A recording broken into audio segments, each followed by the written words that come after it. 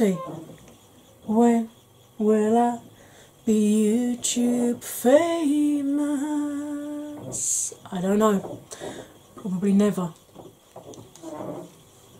That's not mice in the walls this time, it's next door moving their table around. Okay, I think they're done.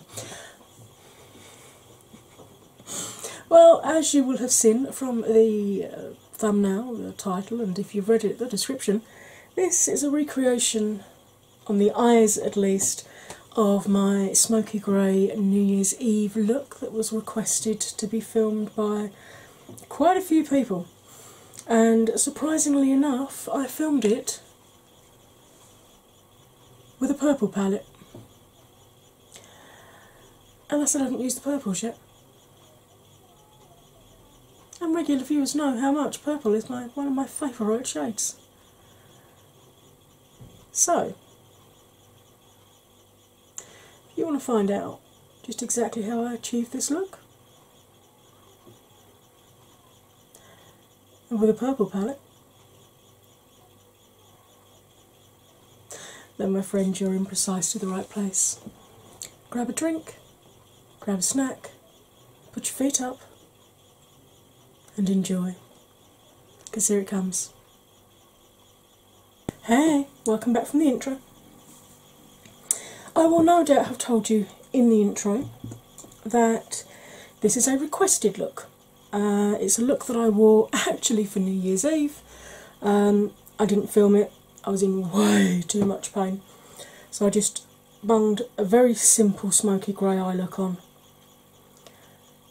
Took a couple of photos, lobbed it up on um, Insta and stuff to wish people Happy New Year, and I had so many people ask me, You have to do a tutorial on that look. So, this is that tutorial.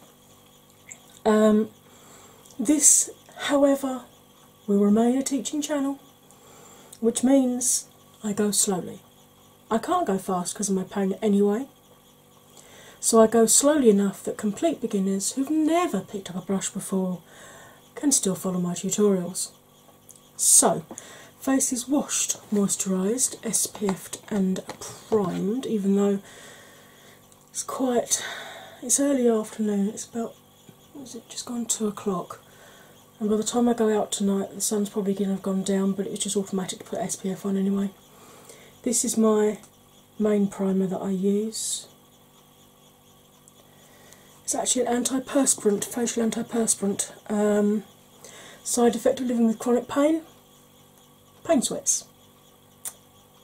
Side effect of fibro inability to control your temperature, either freezing cold or boiling hot. There is no comfort zone. Side effect of the meds to control the pain and the fibro facial sweating. Can you see why I need that antiperspirant now? Of course you can. Right, I'm going to get you zoomed in because I just want to talk you through the difference between deep set eyes and hooded lids. A lot of people with deep set eyes mistakenly believe they have hooded lids, follow the hooded lid guidelines, and wonder why it's still not looking good on their eyes. So, let's get you zoomed in. Did you have a good Christmas and New Year? I hope you did. Ours was well, it was gonna. It was meant to have been quite restful. I stayed in Christmas Eve and New Year's Eve and just had people around at mother-in-law's, and then Christmas Day, about twenty minutes before the brother-in-law was about to dish the meal up, Mum decided to cut her finger open on a, on a glass. So guess who ended up up at A and E with the mother-in-law New Year's Day? That was fun. Anyway, uh, when I relax my brows and look straight forward, you can see all of my mobile lid. Admittedly, you can't see a lot, I'm particularly swollen today with my fibro, but you can still see all of my mobile lid, so I don't have hooded eyes. It's only if your upper lid completely covers this mobile lid right down to the lash line that you either have part or full hooded eyes or what's known as a mono or an Asian eye. Let me show you what deep set eyes are, which is what I've got. If I cover the mobile lid and close this eye, I've got as much space, if not more, that tucks back away that you can't see, back into the fold. And if I cover the static lid and do the same thing, you can see I've got lid space above the crease there that tucks back away as well. And it's those two bits of lid rubbing together that give me the same issues that people with hooded lids get. I get transference of colour onto the upper lid. If I'm cutting my crease, I have to cut onto the upper lid, not just through the socket. And if I'm wearing glitters, even with a glitter glue, I get a bare patch right through there. So, how to put makeup on with either of those eye shapes. And I actually have a friend who has one hooded eye and one deep set eye, so she has to use both techniques. If you have a hooded eye, get a brush, something like this, or a pencil brush, and sketch out on your static lid a new crease line. Now, obviously, that's going to reduce the space between your new crease and your brow, so use slightly smaller blending brushes, and if necessary, go right up to the brow with the colour. If, however, like me, you have deep set eyes, what we have to do is whatever the deepest colour is we're putting through the crease, just relax our brows and make sure we brought it up high enough that you can see it when our eyes are open. So, two very different workarounds for two very different eye shapes that suffer exactly the same issues, hence people's confusion. Right, I'm still using these duo colour do do do do color D O C O L O R that I got from AliExpress. They're clean, they're just stained. And this is a big round fluffy brush, and I am going to be using the Ace Beauty Paradise Fallen, which I picked up in the sale, and I'm quite happy about that because I've been wanting this for quite a while. I picked this one up and I managed to get the Oceanic palette as well. Right, um, I'm going to be using Pure and Stone and Blackout and Moonglow. Okay, so I'm going to start off going into Pure which is the lightest of the greys. Uh, it's got a bit of kick up in pan. I'm just tapping back off onto the pan itself. Don't know if you can see that there. Because all I'll do when I go back in for the next round is just pick up that loose powder on the top. I'm going to start off circular movements, holding the brush right at the end so I put as little pressure on the eye as possible. And we do our usual circle towards the nose, bounce in the middle, reverse the direction to come back out again. Because I'm 45 years old, I've lost 14 stone, which is just under 200 pounds. So the skin on my eyelids moves. Uh, but I know 20 year olds who've always been stick thin that have looser eyelids just genetically. And by doing these little circular movements, you're very, very gently moving the skin around so you don't get any telltale white patches. Now, the exception to that rule is this side. This is the one I'm blind in. Can you see these super deep creases just here? Yeah, that's from when my eye was pulled around when I was five years old, so 40 years ago. And my eye remembers the damage just like an elephant. Um, and I do have to stretch this lid out, otherwise, I get white patching no matter how well I do this.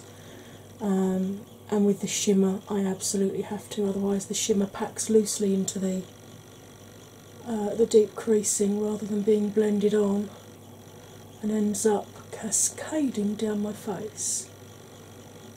But I don't tend to pull it out until I put the very last, deepest colour on that I'm going to go through the the crease with. Now, for those of you who are new, as you can see, I come in very, very tightly. I explain why I do things, and I do them in real time. I don't speed things up. The only time you'll find me to speed something up is if I'm doing um, a film with a cut crease in it, and I'll go through one of them slowly and then usually speed the second one up, otherwise, the film ends up over an hour long, and then people just don't want to watch films that long, unfortunately.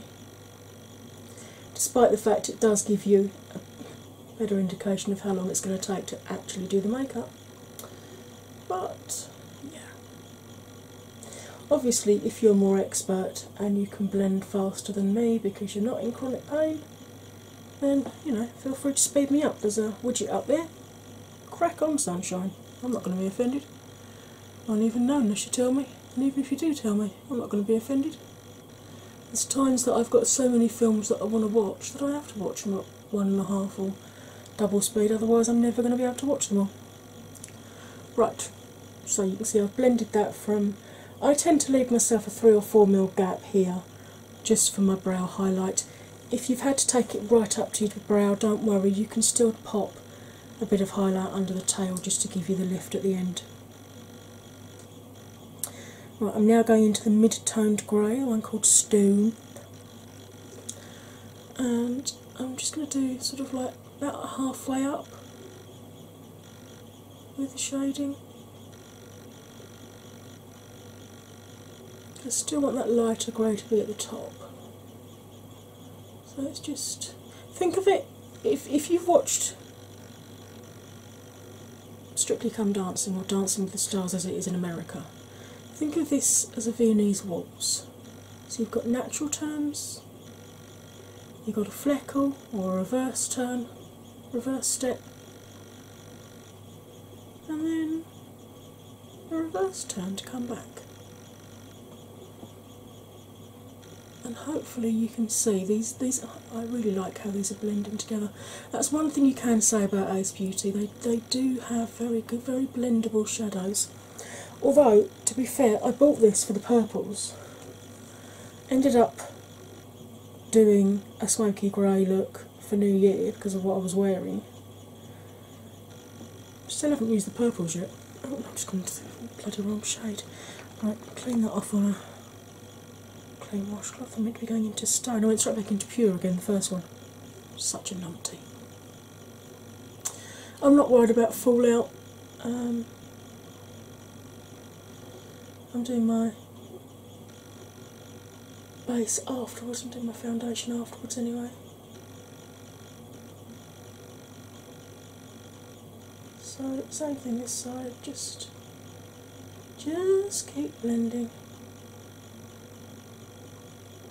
if you get a bit where I get dry patches here and here, where it's sort of clinging to it, if you just use the warmth of your finger, you'll usually find it will blend it out a little bit easier. But as you can see from the length of my nails, I don't like using my fingers when it comes to applying eye makeup because I don't really want to poke my eye out which is something my husband nearly did on New Year.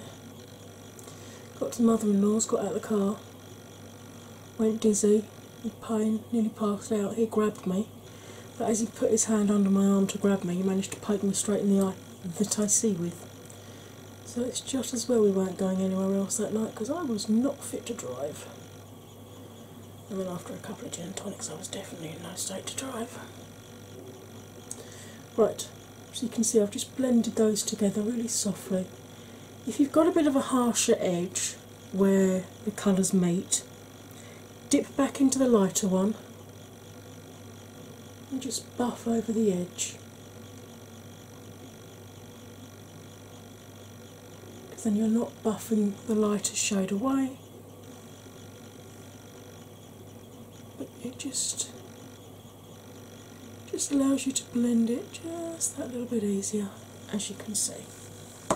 Right, now I've got a clean washcloth here, which is what I prefer to use for cleaning my brushes off with. Um, I used to use um, a colour switch, but they are so harsh on your brushes, especially natural hair brushes. I mean, these are synthetics, obviously. Um, just don't use colour switches if you like your brushes just use a washcloth or microfiber cloth or an old tea towel, anything. Anything is better than those. Right, I'm now going to go in with another dew colour one because it's bloody luminous, but it's more tightly packed. And I'm going to go into blackout. Now, if you've had to create a crease, you're going to be running this along that area. Okay? And you do the tiniest, tiniest little circles you can possibly do, barely moving the brush at all to lay this colour down.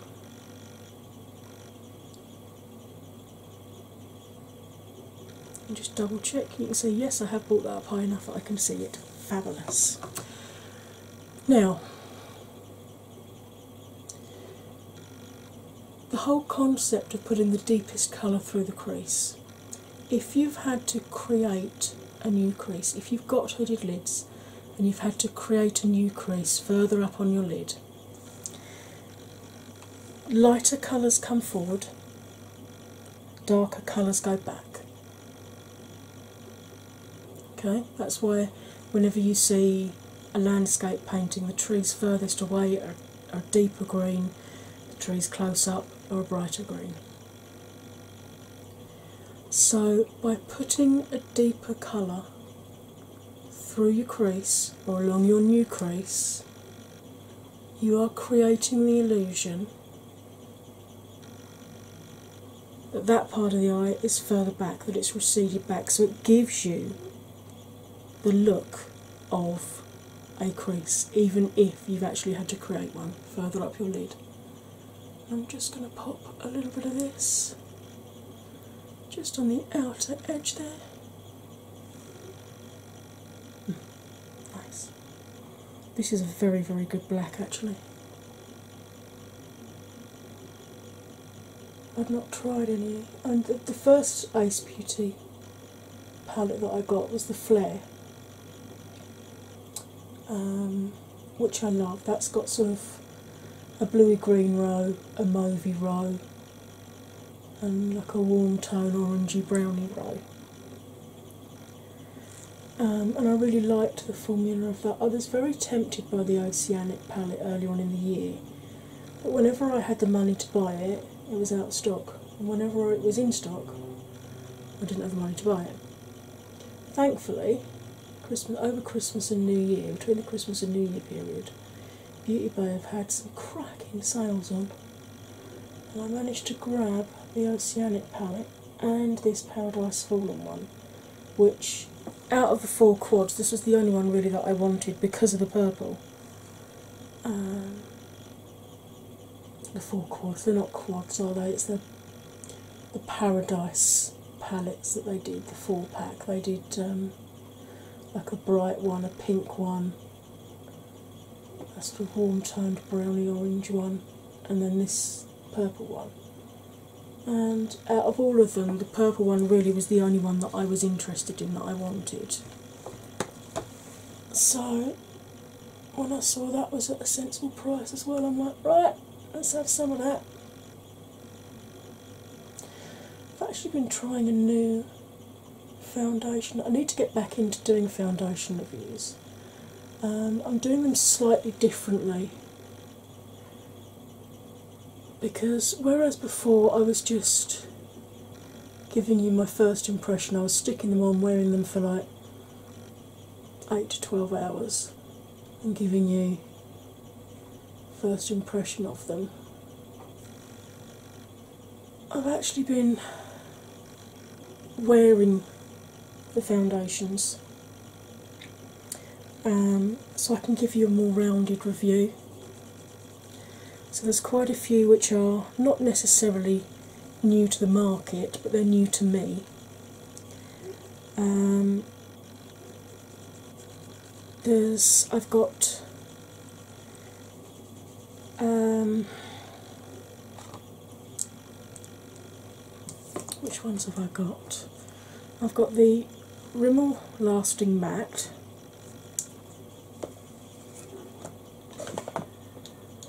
I have got CoverGirl Outlast Active.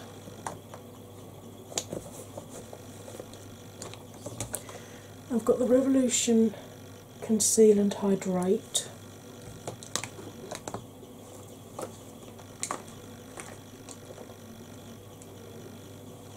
Maybelline Dream Urban Cover.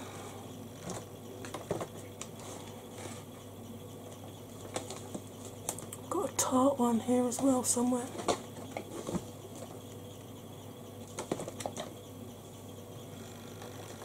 I think it was the found the foundation found what was it they called it?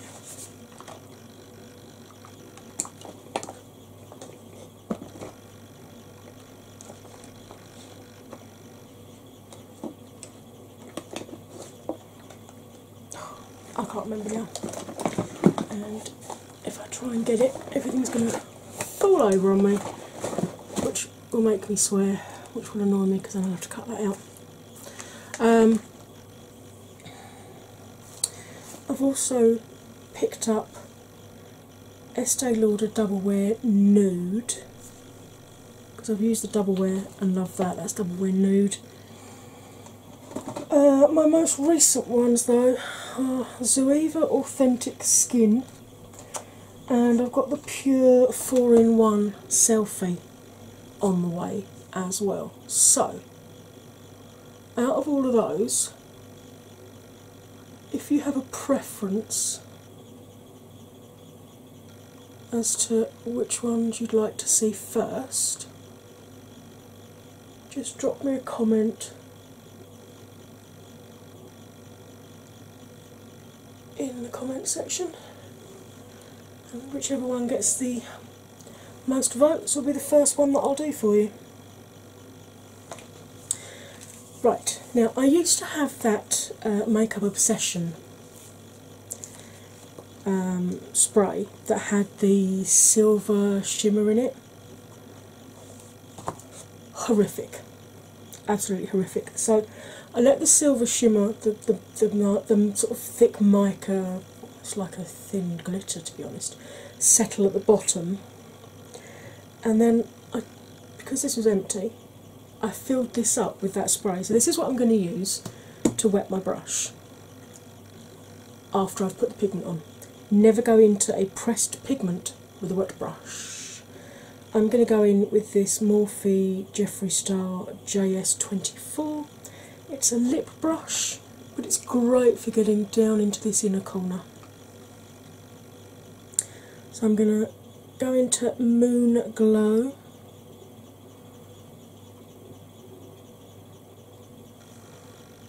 Both sides, and then I'm going to spray it.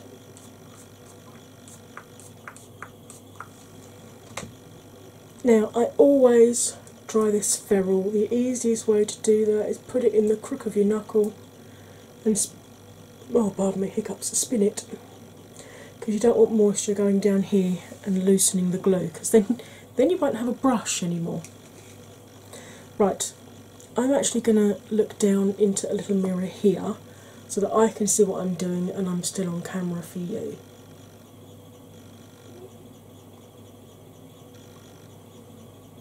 Now, obviously, by spraying a shimmer,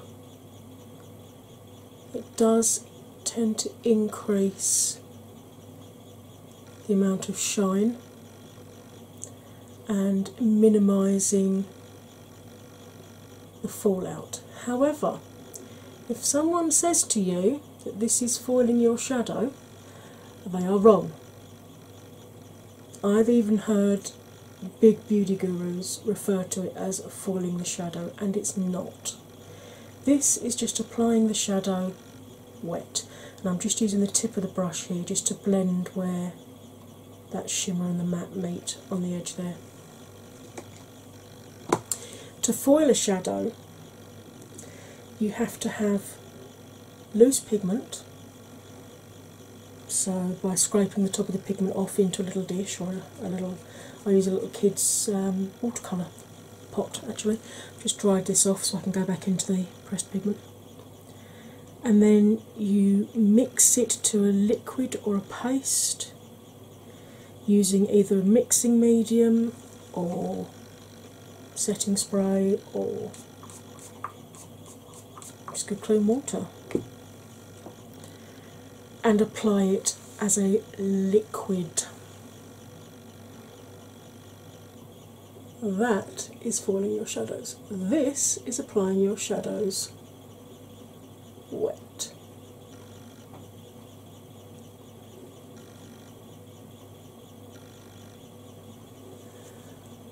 I know this because I've done my research. And coincidentally, literally a week after I'd learned that, about 18 months ago, Wayne Goss actually said exactly the same thing in one of his films. And let's face it, what Wayne Goss doesn't know about makeup isn't really worth knowing at all, is it? Yeah, for some reason it's gone on brighter one side than the other, so I'm just going to top this side back up again so we match.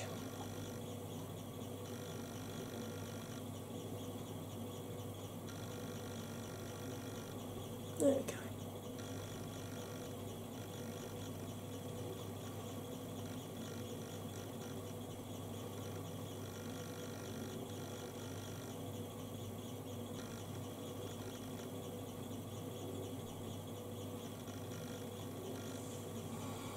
And again, just using the tip of the bristles, gently buff just where it meets the black, just to soften that edge there. Hmm. I like this.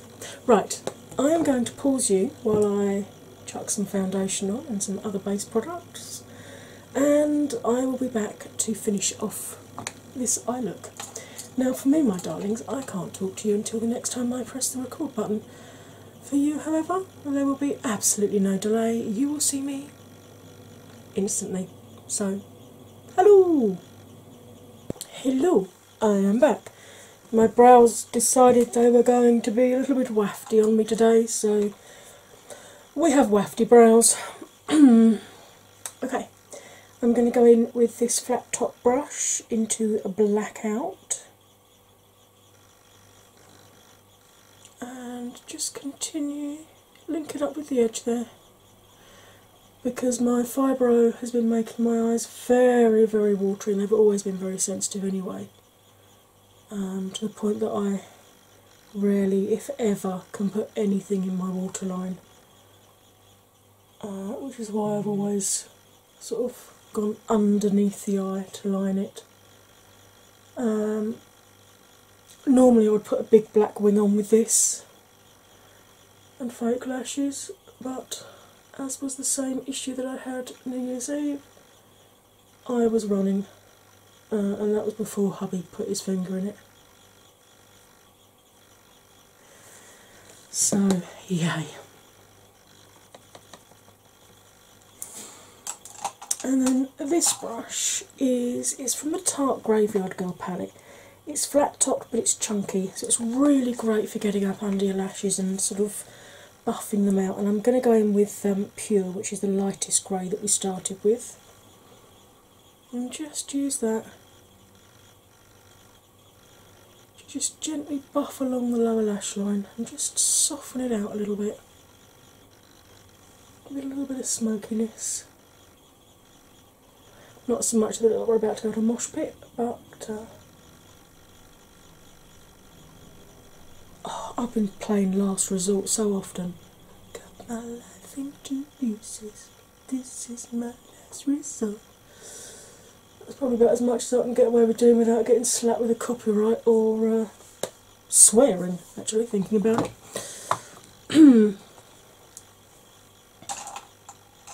okay highlight time. And I actually picked up a new highlight. This is from eBay. It's by a company called Hojo. Everything on the back is in Chinese, Cantonese, don't know, apart from a variety of shining pearl powder can create a three dimensional and advanced feeling, achieve the effect of light regulation, and correct darkened matte skin. And uh, shade number three. But the reason that I picked this up is because when I open it, it will resemble, not in uh, this particular colour at least, but in the way the pan is designed, what does that make you think of? ABH Amrezy? Yeah, they do have one which is a dupe for the colour of ABH Amrezy, but um, I already have Jeffree Star's sarcophagus in a big pan, um, and that is a dupe for Amrezy, so I didn't need that, but I thought I'd grab a white one because I do like me a nice crisp white highlight. And the white highlights that I've been using the most are both quite pricey ones. It's Jeffree's Ice Cold and Ofra Nikki Tutorial Glazed Donut. But would you have a look at how bright this is? How gorgeous is this colour? I'm just going to bang a little bit on the inner corner there. And as I always do, bring it down under the tear duct and just blend it into the colour that I've got going under the eye there. You can just leave it as the tear duct like that, uh, but I, or the inner corner rather, but I like to bring it along and just finish the eye shape off almost. There. Right. I am now going to pause you for one last time I'm going to bung some more of this all over my face. Um, I'm going to put some mascara on, stick a lippy on, setting spray, do something with my hair, yada yada yada. Uh, regardless, when you come back, you'll see the finished look. So, see you right now again. Hello, I am back. Uh, obviously, I use the same highlight all over and it's lovely. Uh, I used my Revolution Blowout Cannabis Sativa mascara. Really like this, but it has got a huge brush. If you've got little eyes, you may struggle with that.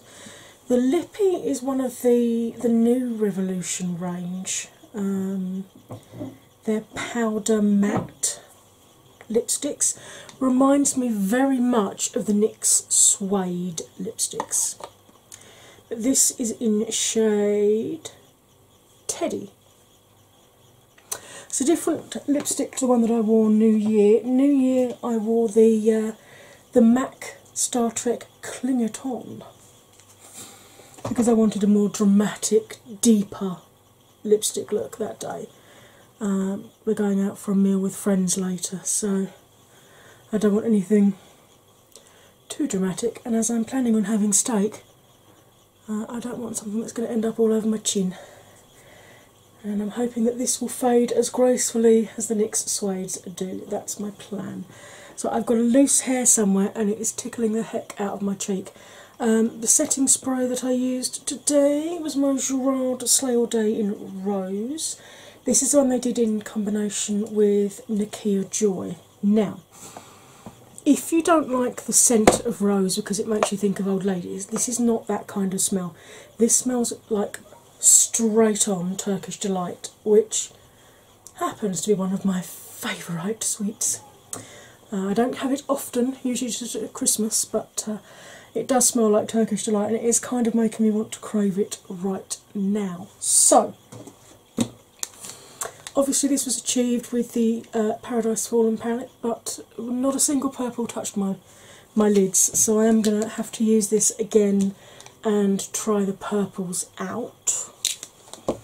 But as requested, this was the New Year's Eve look that I did quite literally three days ago, four days ago.